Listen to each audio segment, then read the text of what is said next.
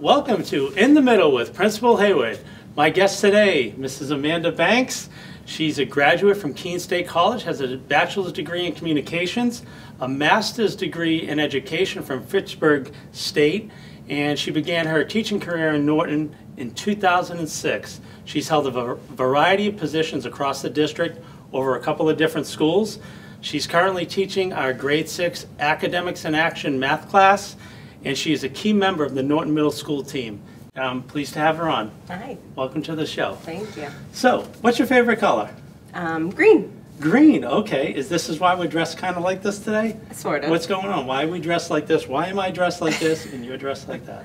Um, basically, today is actually our last fundraiser for um, Spaulding Rehab, which is the charity that I'm running for. I'm running the Boston Marathon literally a month from today. Um, it's a month from today exactly. A month from today, perfect four timing. weeks from Monday. Yeah. Are you going to be on the course? maybe? Uh, it, only as a spectator, not Yeah, as a yeah. runner. But so why are you you're running the Boston Marathon? Have you ever run marathons before? Or I actually did one marathon 10 years ago.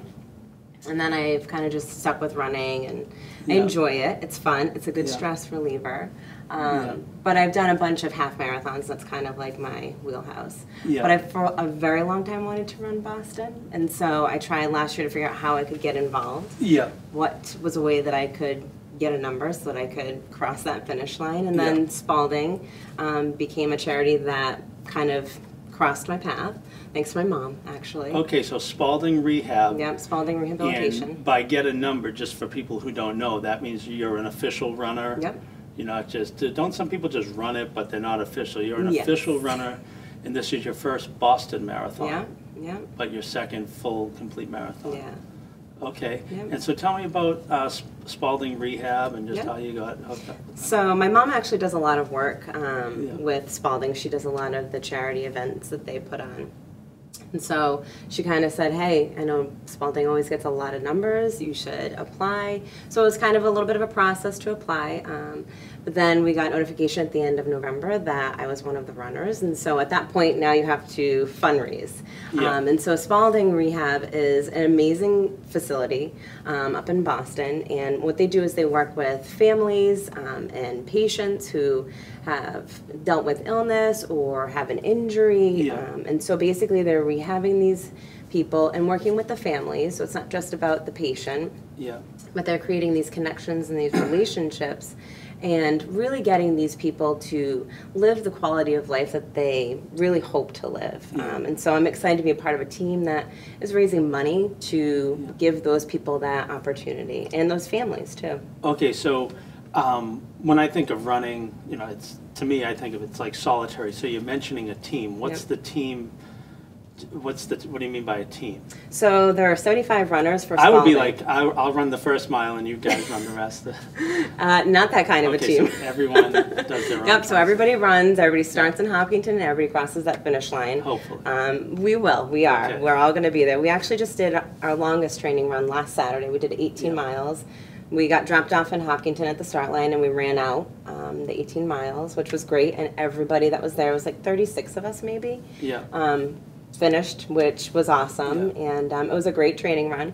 But we do run um, some of our longer runs as a team. A Yeah. lot of it is done kind of like on your own, training on your own. Yeah. Or I just did the Hyannis Half Marathon, and most of my team was there, which was really Yeah. cool. So Do you notice a difference between the, the running that you do by yourself versus with the team? Does the team kind of yeah, so it's been really awesome training on my own. Um, I definitely have set goals and surpassed them, which is a really cool thing. Yeah. I think for me, just on my own, but with the team, I've actually met so many amazing people, and unfortunately, not many live local to me.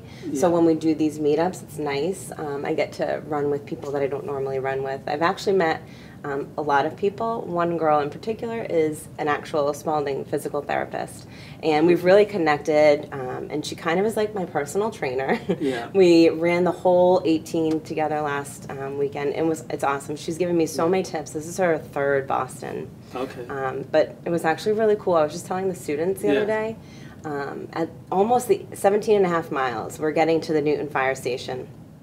And all of a sudden, the girl, Allie, that I was running with, is like takes off. And i'm like we've been running for 17 and a half miles. Yeah. why are you taking off? And she starts yelling to this girl who she knew who was pushing a wheelchair. Yeah. so she comes back to me and she's like so sorry that was kate. And i'm like oh okay that's cool. She's like kate's running um, with her brother. Yeah. and her brother is one of Allie's patients. So i wasn't sure if he was in the wheelchair or not but she was actually pushing a 150 pound sandbag in a wheelchair. So it's like those part things are so amazing and Yeah. inspiring. It just makes you a want to raise more money for this Yeah. amazing community but also it just like gives you that little extra burst of energy So what was the, uh, what's been more difficult, training for the marathon or fundraising for the marathon? i think the more stressful part is the fundraising piece just Yeah. because you want to get there Because it's so um, important. it's really It's so important, important, for you the know what it does. Exactly. What it's going to. exactly Yeah. the training part actually has been really good like Yeah. Knock on wood like i feel really good. Yes i actually enjoy running like out in the cold Yeah. weather. I'm out at five o'clock in the morning some days bundled up and just out in the darkness and it's Yeah. been really cool. Like it's it's definitely an adventure that i'm glad i'm on. Yeah, and uh, what's your, um, what is the target that you have as a team and individually for the fundraising? so for personal um, your minimum is 6000 so anything Okay. above and beyond is awesome and i think actually the last time we met we had raised over $3 million already so far with The just team? our team Thirty-six, you said thirty-six people? there's 75 Oh, 75 people Yeah. on that team have Yeah. already come up with over 3 million over $3 million. yeah, Okay, just this year so far yeah, and we've been able to involve the Norton Middle School community. Yeah, the And whole some of- district actually, yeah. Yeah. Yeah, so Okay, it's been great, awesome. and today's one of those days. Today is one of those raising- days. You And should do see we- the grade six kids, they look so cute in Yeah, their green. and they're competing for a free recess or They are, something? yeah. And we call it Bucks for Banks here at the middle school. Um, in, in re- terms of, um, you know, the uh, weather and stuff and Yeah. the running, I remember I would go in and watch a marathon and I was, I would hope it was a 85 and beautiful. What's the ideal conditions that you're hoping for to have a successful run? Okay, so if I were to wish for a great day, Yeah. it'd be like 40, 45 and overcast with maybe a little sunshine at the end Okay, as I'm so- crossing the finish. Oh, it's a, it's a ray of sun down there. Who's at the finish line for you? What, what, have you Um, imagined that finish line, and what is it that you've imagined that you're gonna see? Who you're gonna see? What are you gonna feel? Yeah, So it's like, it is emotional. Even Yeah. like when I did the 18, it was emotional. You get emotional when you're like reaching these really cool milestones. And so I actually ran by where my fa- uh, most of my family will be, um, Yeah. which is around like the halfway mark. Yeah. And I remember thinking, running by this little field and thinking that's where we were last year. Yeah. And that's where my kids are going to be this year. Yeah. So it got me a little emotional. It's exciting. So I'll see my family, my husband, and my kids. Yeah. Um, my in-laws are probably going to be there. My entire family is going to be somewhere along the course. Um, getting into Boston is tricky, you know, Yeah. on, on Patriots Day. Yeah. My mom will be there. Um, they do like a whole reception at the Mandarin Hotel, so I'll Okay, have for like all the a- runners and yeah, stuff. Great. yeah, it's pretty cool. Yeah, uh, I can I can only imagine Yeah. because I I could never run. I tell people if you see me running, uh, I need help. Someone's after me, or like I would never just run to Yeah. run. Even when I was a kid, I was pretty good. I mean, I was fairly athletic, but I would run if it involved chasing a ball Yeah. or playing defense or something. But just to run, it was just something I never latched onto. Uh, what do, what do you find about just uh, running, not necessarily training for a marathon or whatever, that, you know, you've been kind of a lifelong runner, you've been doing it for a number of years, that you find that, that draws you to it? So actually, um, I didn't start running until 10 years ago, and my marathon was my second race of my life. Yeah. Um, the first was a, the Foxborough 10 miler, and I actually got into running because I was kind of at like a place in my life where I just needed something for me to focus on. Yeah. Um, and that was right before I started running, right before I actually started working in the town of Norton. So it was a lot of changes in my life. Yeah. And then it's kind of been that awesome, consistent thing that I can do that I can Yeah. just put on some shoes and just head out, no matter what the weather is. I usually Yeah. avoid the rain, but I did run Hyannis and it was pouring that day. Yeah. Um, so I know I could do it, but it's a really cool just place to just be out. It's a really great community. The running community is awesome. We actually Yeah. have a lot of teachers here that run. Yeah. Um, so a lot of times we'll get together at the like after school and go for runs Yeah. together too, which is pretty nice. Nice. Yeah. One of the things from the Boston Marathon everyone always hears about is that Heartbreak Hill. Yes. Does the train, have you trained to do that, or I mean, is that part of the route they let you run? So we did eight and a half a few weeks back on Yeah. just the hills, and we were on fresh legs, so it was like no big deal. I was like, this is easy. Um, next weekend we do our 21 miles, so we actually get dropped off in Lake Natick, and then we Yeah. run the rest of the way in. So I will get to Heartbreak Hill. It's the the hills are not like atrocious, It's like incline wise. It's just at the point that you get there. I will say Yeah. Jack Howley has been instrumental in my training. He Yeah. suggested a race up in New Hampshire. Mr. which, Howley, a social studies teacher here, yeah? Yep. He sent me to this race in New Hampshire at the end of January. And I will tell you, I was like dying from mile like 11 to 12. It was like Yeah. literally a mountain. Um, and so I have to say that race really did. And he, he said it's going to make you feel real good when you get onto the, Yeah. the Boston course.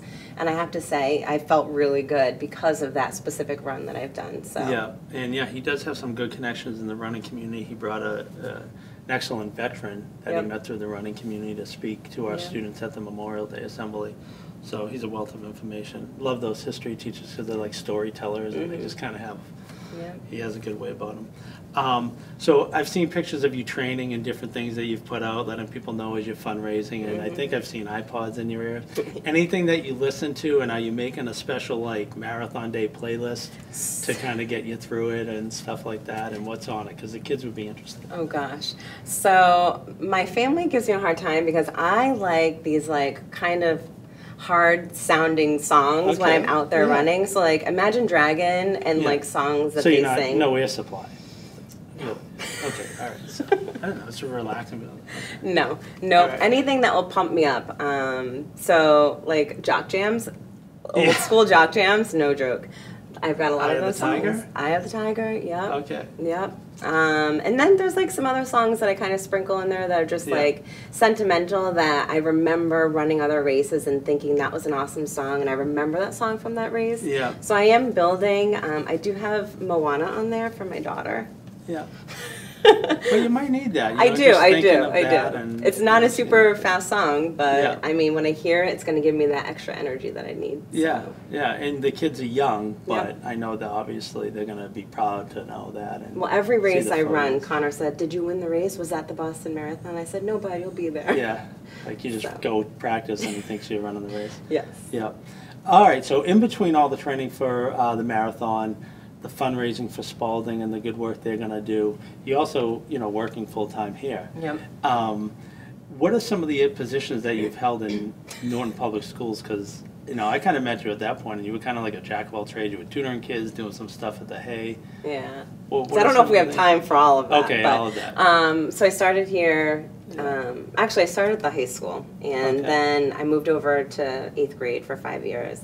Took a year off when I had my first son, and then I came back and worked at the Yelle doing Title One, so fourth and fifth grade. So a lot of Yeah. these kiddos remember me from Title One or just Yeah. seeing me around the building. Um, and then I came back here last year, and then I kind of found my way into the sixth grade Yeah. A position, which I love. Yeah, It's awesome. yeah, it's been It's fun. Yeah, it's um, what what? How would you describe AIA? Because we're talking, and anyone who's watching any of this, I had math class, I had science, social studies, and really, unless you go to Norton Middle School, you have AIA, you have no idea. So how would you describe AIA to someone who?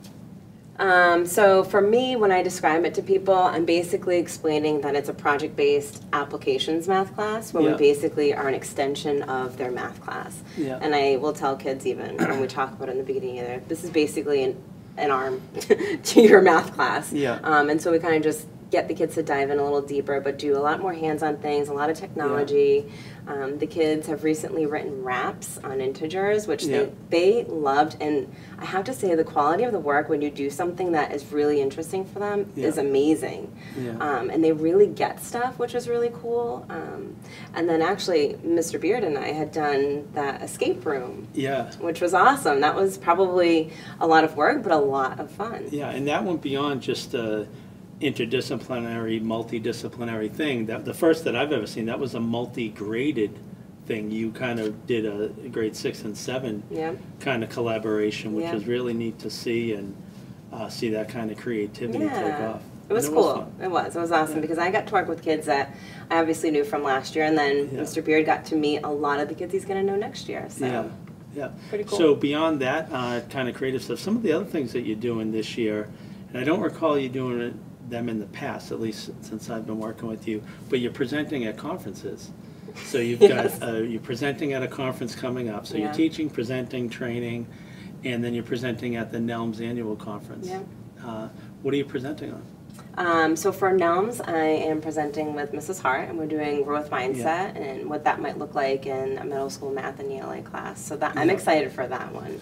Next Thursday, actually, I'm doing a math conference, um, and I'm actually really excited for this. It's how you use technology in your math class. Yeah. Um, so I'm going to be talking about Goose Chase, which is actually something I learned at the Ed Camp back in Yeah. December. That we held here. Yep. Yeah. And then the other thing is um, escape rooms and how to use Google. Form to make an escape room for your students. So. Yeah, yeah, cool. Just some things, because obviously, especially if the kids tune in, they always want to learn something about the teacher and stuff. Do you have any favorite memories from middle school? From middle, actually, you know what? This is from Mrs. Mulligan. um, so one of my most favorite like memories was making a Jello cell. I know we don't really do a lot of that stuff here, but. It was actually I think my seventh grade science class, and I had to make a, like a replica of a cell, and so I was like gung ho about making this Jello like cell. Yeah. It was really difficult because things did not stick nicely into the Jello when I was Yeah. making it, but it ended up coming out really cool. So that was one of my like that project. yeah, I liked that. I Did liked you save it? Stuff. It would be disgusting right now. I'm. Nor did I eat it Yeah, either. Yeah, yeah. Afterwards, hey, come eat this. It got Yeah. a C plus. Even better if it got an A. Um, hopefully, you got a good grade. I'm only joking. You probably got an A. Um, what is something that uh, about you that might surprise your students? Um, I don't know. I'm like an open book to these kids, so Yeah. I feel like they know a lot about- about me. They know I'm extremely invested in Or everything what's something they unique do. about you that even maybe viewers or someone or even me or somebody else might not? Um, so I actually have a sister that lives in town who just had Yeah. a baby. So hopefully, in like 11 years, I'll be teaching him. Oh, okay. That would be really cool. nice. Did yeah. you know I had a nephew that lived in town? I did not. He's know six that. months old. Oh, okay, great. Yeah. And you have uh, you mentioned a sibling. You have I a have a lot. lot of siblings. Yeah, Yeah. I have seven siblings. Seven siblings. Yeah. And you are A a, twin. a twin. Who- Okay. She has four kids.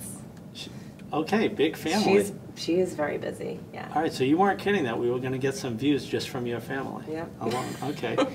um, kind of math question, kind of where um, you uh, talked about the presentation you're going to do about growth mindset. Yep.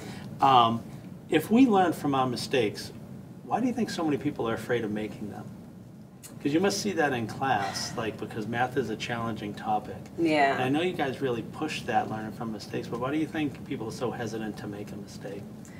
For me, I feel like people when I'm watching these kids in any grade, um, I think they are very worried about just having the right answer Yeah. because with math you're going to get an answer the way i like to think about it for the kids too and just remind them that there's so many ways that you can get to one answer i'm Yeah. not black and white so for me Yeah. i know that i might teach you something in a certain way but if you have another way to do it Yeah. We want to see that and we want to share that. So I feel like kids sometimes will go home and they'll say, but Mrs. Banks didn't do it this way. Or I have siblings who are still in high school and they'll ask me for help and I'll say, well, this is how I would do it. And they're like, well, that's not how my teacher does it.